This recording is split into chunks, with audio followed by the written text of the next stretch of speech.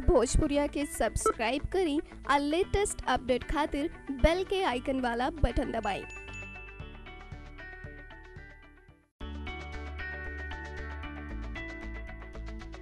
Bhojpuri superstar Khesari Lal Yadav को लेकर बन रही अब तक की सबसे महँगी भोजपुरी फ़िल्म दबंग सरकार की शूटिंग फरवरी 2018 में लखनऊ से शुरू की जाएगी, जिसकी सारी तैयारियाँ पूरी हो चुकी है। फ़िल्म में एक्शन और गाने के ऊपर बहुत ध्यान दिया जा रहा है। फ़िल्म को भव्य बनाने के लिए इस फ़िल्म के निर्देशक योगेश राज मिश्रा ने बताया कि मैं इस फ़िल्म की कहानी पर लगभग एक साल से तैयारी कर रहा हूँ, जो अब जाकर पूरी हुई है।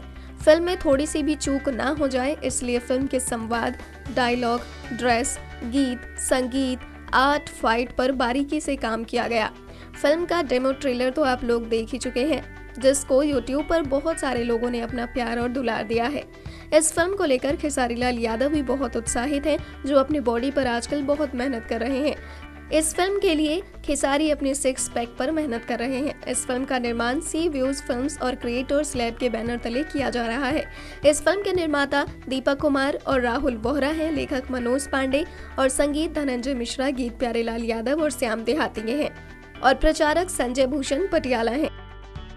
नेक्स्ट नाइन न्यूज़ भोजपुरिया की रिपोर्ट।